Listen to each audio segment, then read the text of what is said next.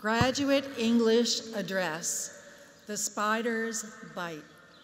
Candidate for the degree of Doctor of Philosophy, Jiang He.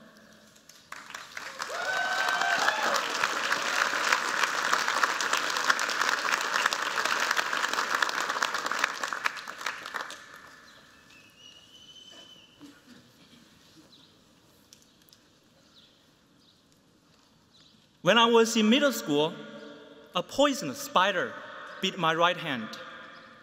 I ran to my mom for help, but instead of taking me to a doctor, my mom set my hand on fire. After wrapping my hand with several layers of cotton, then soaking it in wine, she put a chopstick into my mouth and ignited the cotton.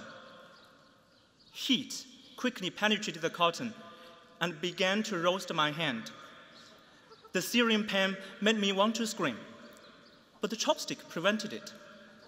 All I could do was watch my hand burn. One minute, then two minutes, until my mom put out the fire. You see, the part of China I grew up in was a rural village, and at that time, pre industrial. When I was born, my village had no cars, no telephones, no electricity, not even running water. And we certainly didn't have access to modern medical resources. There was no doctor my mom could bring me to see about the spider bite. For those who study biology, you may have grasped the science behind my mom's cure. Heat deactivates proteins, and a spider's venom is simply a form of protein. It's cool how that folk remedy actually incorporates basic biochemistry, isn't it? But I'm a PhD student in biochemistry at Harvard. I now know that better, less painful, and less risky treatments existed. so I can't help but ask myself why I didn't receive one at the time. 15 years have passed since that incident.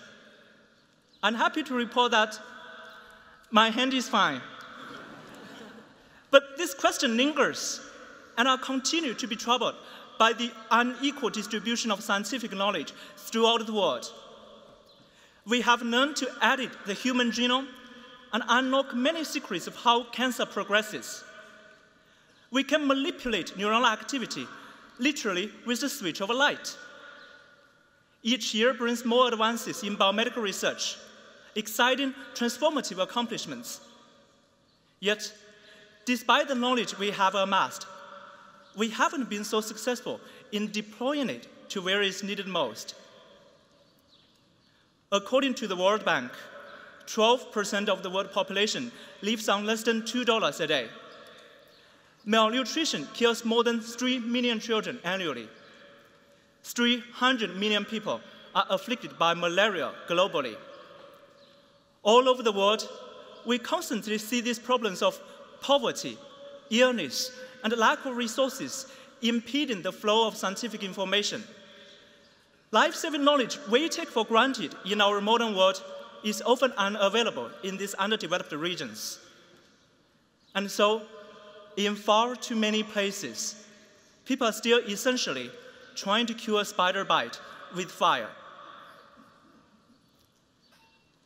While studying at Harvard, I saw how scientific knowledge can help others in simple yet profound ways. The bird flu pandemic in the 2000s looked to my village like a spell cast by demons. Our folk medicine didn't even have half measures to offer. What's more, farmers didn't know the difference between common cold and flu. They didn't understand that the flu was much more lethal than common cold. Most were also unaware that the virus could transmit across different animal species.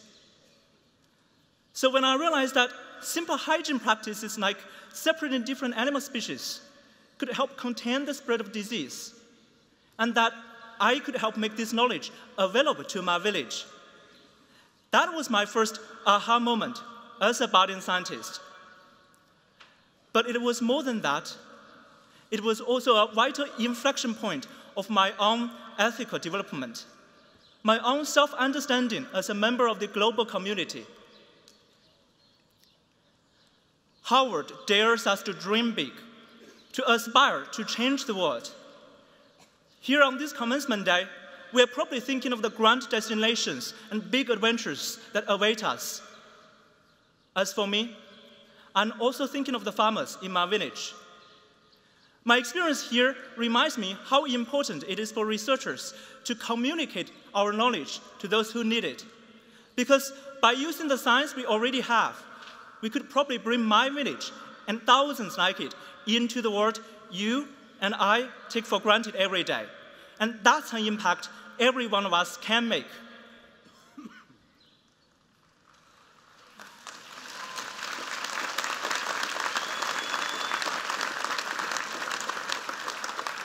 But the question is will we make the effort or not? More than ever before, our society emphasizes science and innovation. But an equally important emphasis should be on distributing the knowledge we have to those who need it. Changing the world doesn't mean everyone has to find the next big thing. It can be as simple as becoming better communicators and finding more creative ways to pass on the knowledge we have to people like my mom and the farmers in the local community. Our society also needs to recognize that the equal distribution of knowledge is a pivotal step of human development and will work to bring this into reality. And if we do that, then perhaps a teenager in rural China who is bitten by a poisonous spider will no longer have to burn his hand, but will know to seek a doctor instead. Thank you. 谢谢。